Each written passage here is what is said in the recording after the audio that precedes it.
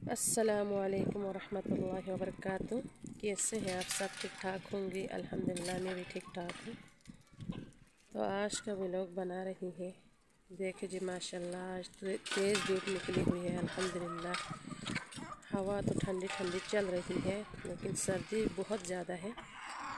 आज मैंने मुर्गियों को खोल दी है। ये देखे जी। ये सफ़ेद मुर्गा बीमार है। बहुत ज़्यादा बीमार है, ठंड की वजह से। देखो, चल भी नहीं सकते इसको।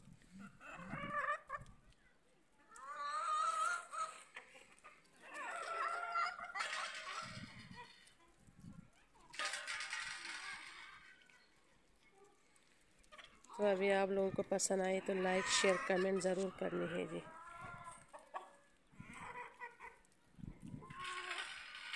अल्लाह हाफिज़।